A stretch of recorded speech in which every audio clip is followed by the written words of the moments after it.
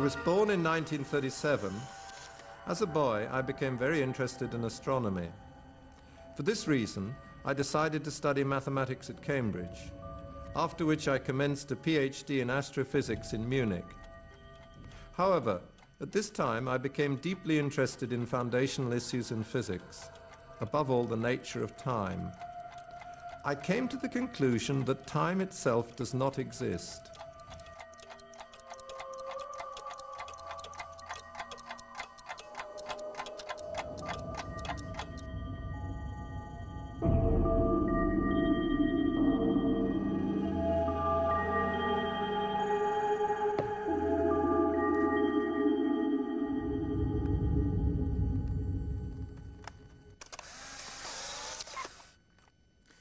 Mr. Barbour, your last book is called The End of Time. What is it about?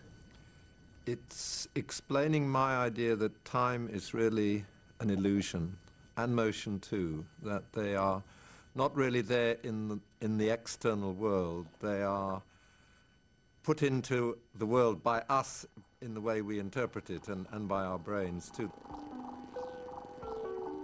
So it's not a linear story. It's not a linear story. Uh, it appears linear to us, but I think this is an artifact of, of the way nature works, that it, it creates this impression in us that there is a linear time. But if we could really see the, the totality of everything, we would see that there's nothing linear about it at all.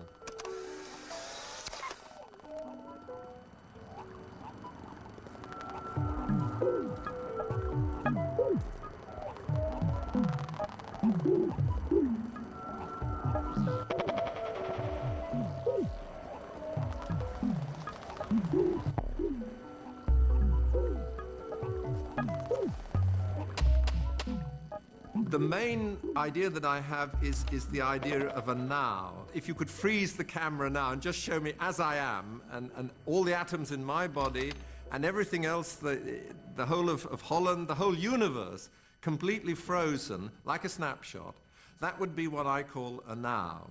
I mean, with the camera looking at me, I don't seem to change very much except by moving my hands around.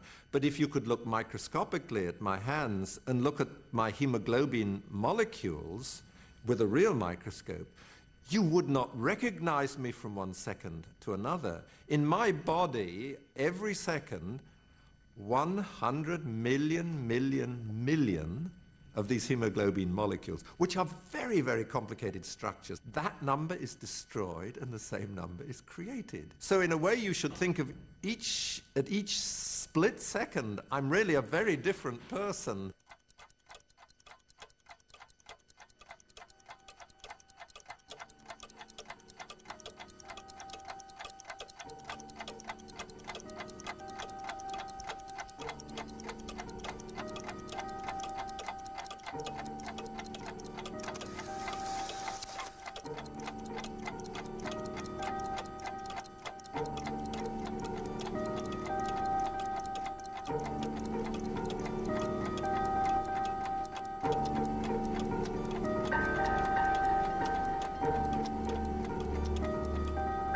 You want the, the scientific notion of time, the time that, that Christian Huygens first measured accurately with his pendulum clock, that is actually an interesting subject because very little theoretical work has been done on establishing exactly what is that time that is being measured by a pendulum clock or by my wristwatch or an atomic clock.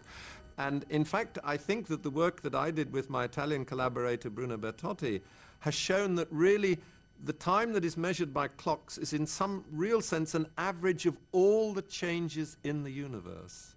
That if you imagine two nows, they will not be quite the same. There will be some difference between them. And if you work out some weighted average of all of that difference between those two nows, you can call that in some sense the amount of time between them.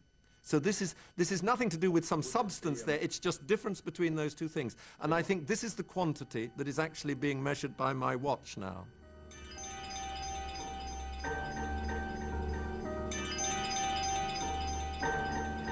So time exists.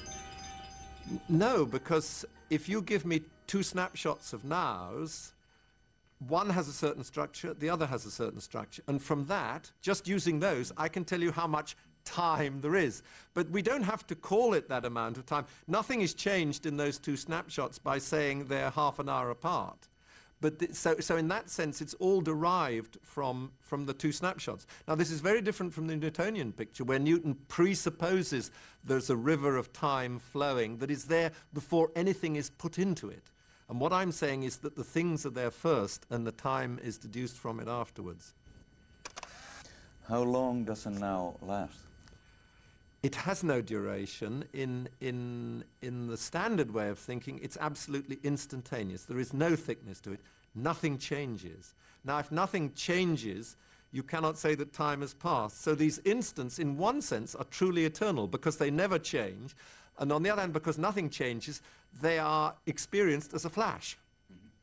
So it's a nice contradiction, really. It, the eternal is experienced as, as a flash because nothing changes. How should I picture these nows? Is it, is it, are they juxtaposed? And what is in between them? There is nothing in between them. It, it, it's just, let, let me take, the, each of these are, are, separate, are separate snapshots. They're, they're, they're each separate pictures. Look at them. And there's no, there's no difference. These things are not changed by me reversing the order in which I put them. It may be convenient for the way we think about the world and for ordering our experiences to suppose that these come in a certain order. But in fact, the picture is not changed whether I put it there, whether I put that one first, or, or, or, or it should be around that way, shouldn't it? Uh, it doesn't make any difference to the picture itself. The snapshot is completely self-contained, and what we call yesterday is self-contained and has its experience of being yesterday, and, and today has memories of yesterday, and therefore I, I say that it's later than what we call yesterday, but each is actually completely self-contained, and there's no reason why you should put one snapshot here and another one there and another one there.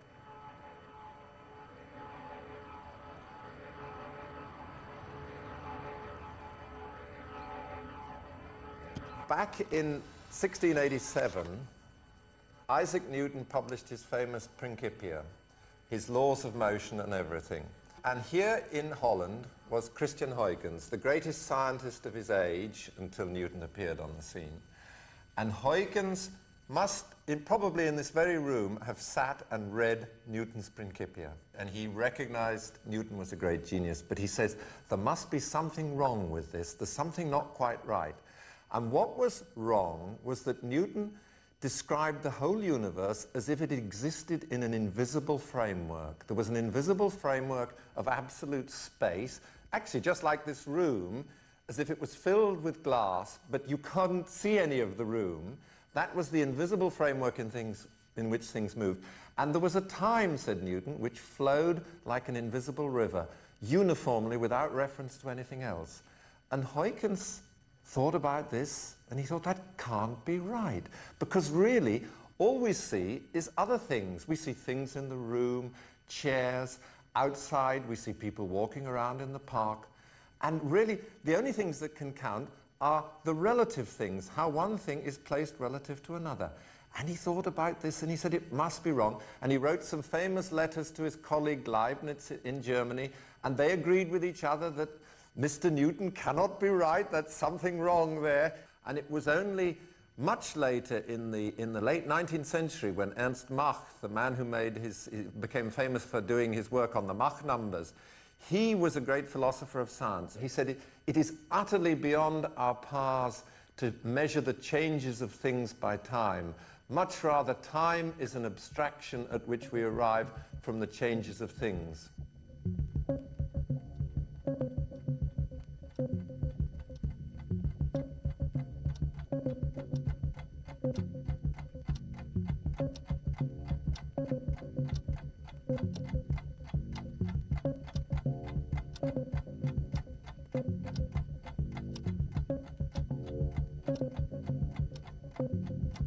Like many other theoretical physicists today, one is trying to find a, a, a, a, description of the entire universe which unites two theories. There's Einstein's theory of relativity and gravitation, which describes the universe as a whole, galaxies and, and stars, and even ourselves. And that works wonderfully. And then there's quantum mechanics, which at the moment only describes atomic systems, molecules, and so forth, the very small. And that was discovered uh, a little bit later in 1925, 10 years after Einstein's theory. And, and these two theories are, are very different. And everybody who has thought about this is, is convinced that quantum mechanics must be the more fundamental theory, must be the deeper theory. And in some senses, it must it, it, ought to apply to the whole universe. At least that's what most people think. And somehow Einstein's theory must be made to match that. Now, 40 years ago, people started really very seriously trying to combine these two theories. And one of the central problems they came up against is the, is the way time is treated in the two theories. In Einstein's theory of relativity, time is extremely flexible. It seems to be there, but it's very hard to get your hands on it. On the other hand, the, the, the time that is used in quantum mechanics is, is just like the old-fashioned time of, of Isaac Newton, just sort of tick, tick, tick going on, uh, completely independent of the whole world. And, and, 32 years ago, at last an equation was found, which is called the Wheeler-DeWitt equation. And this is meant to be the equation which describes the whole universe. And lo and behold, there is no trace of time in it. It describes a world which is completely static. You cannot, it, it, time disappears from that equation. And and there's been a lot of argument about can that be right and, and, and, and, and, is it right and so forth. Now, I think it is. And I think the, the interesting thing is that you have these two theories, quantum mechanics and general relativity, with very different notions of time. And the only way, I think, in which you can unite them is by saying there is no time at all. Each has got their separate notion of time. So the only way you can marry the two is say there is no time at all.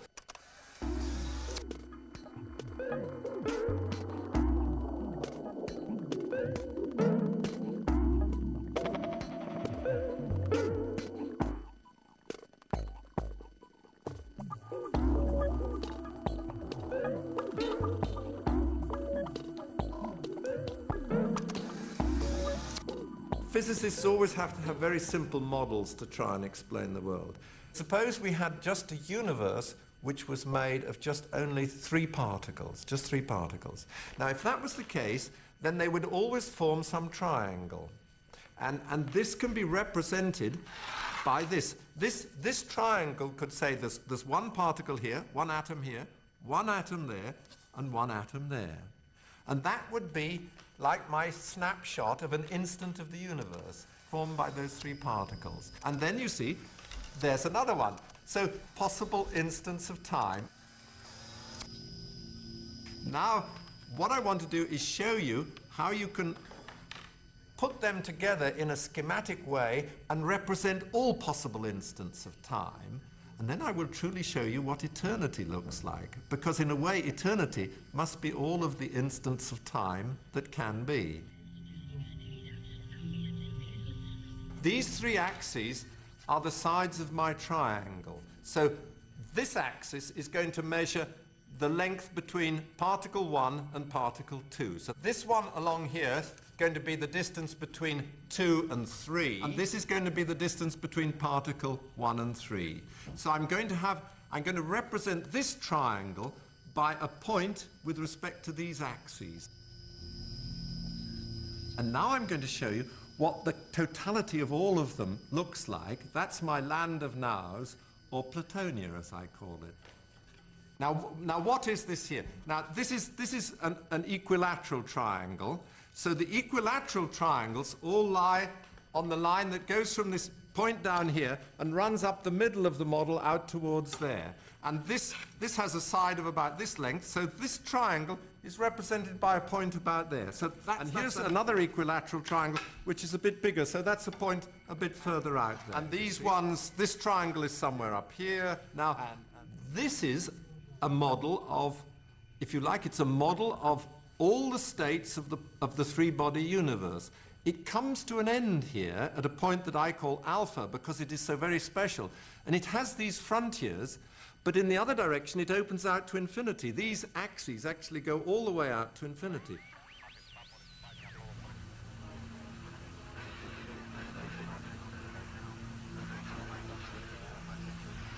The point I'm trying to make with, with this is that it leads us to a completely different way of thinking about time. Now, the way people normally think about time is that it's like a line. It is it could either be a river, but a washing line is a very good thing. And this is the past, and this is the future.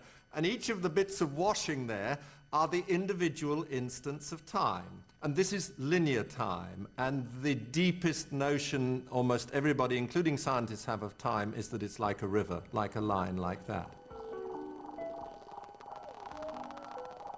And now we can look at my alternative model. And you see, this is a completely different structure. First of all, it's not linear. Remember, each point in here represents a now, a special configuration of the universe. So I can hook this here this could be a history of the universe because each point along here represents one of my snapshots, a now. So this could be, even if you like, the Big Bang down there, and this could be us somewhere up here now.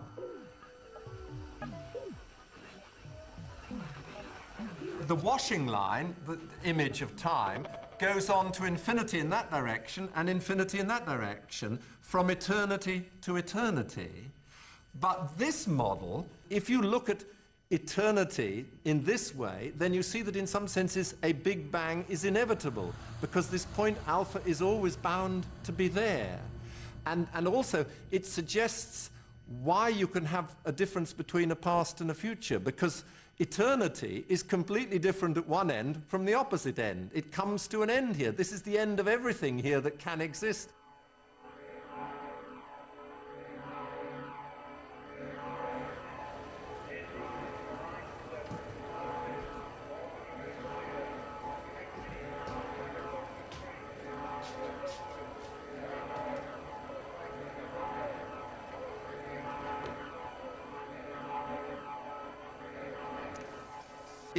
If, the world is really timeless in the sense that I think it is and the Wheeler-DeWitt equation suggests, then, then there will be many instants. Each of them will be self-contained. Each of them will be like what we experience precisely now, but in, in very different ways. The universe you're proposing, is that a universe in which all the things are juxtaposed in a kind of simultaneous situation? Is that? Yes, quantum mechanics says that in a sense you have got to consider everything that could potentially exist, everything that is logically possible has to be taken into account and actually influences everything else. The probabilities for everything are determined by everything. So not only are, is all of the past there at once, and all of what we think of the future in, in the old linear time notion, not only is that present, but countless other possibilities are also there in, in an absolutely unendingly vast space of possibilities, all there at once. So, are you here or aren't you here? This incarnation of me is certainly here, but also there is uh, an incarnation of me in which I was never asked to come to Holland to make this film, and I'm just sitting at home in Oxfordshire having my tea.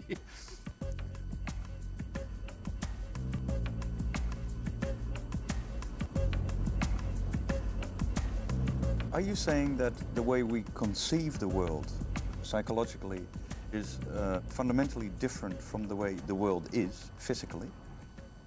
That seems to be very much the case.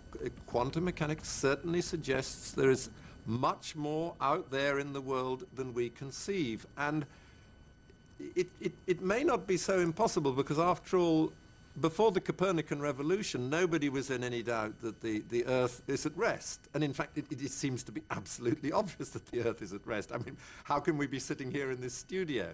And nobody could believe that the Earth is whizzing round and, and going round the sun. And yet, in the end, the great scientists like Galileo and Newton persuaded us otherwise. And, and maybe this process is going on. And it took over a hundred years for people really to accept Copernicus's proposal. Now, the quantum mechanics is much more remarkable, so I think it could take centuries in normal parlance for people to come to grips with it and really feel comfortable with it.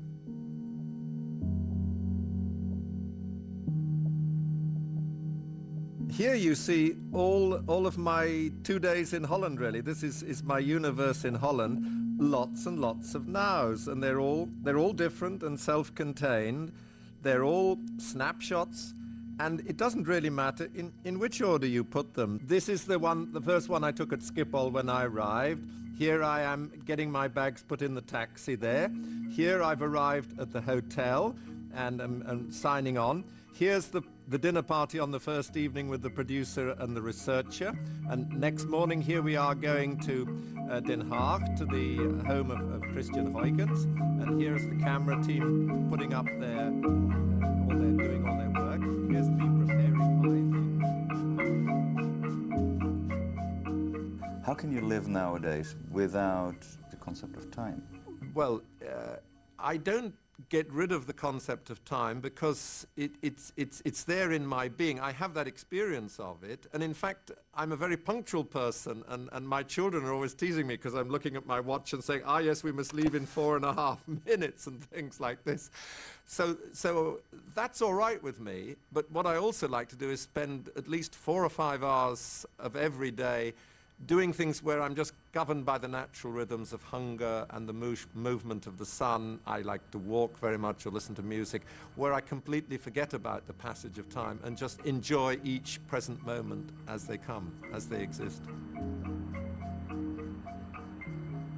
There's only one way that this can end. I'm going to take a Polaroid of all the Polaroids, and that's going to be a snapshot of my universe in Holland.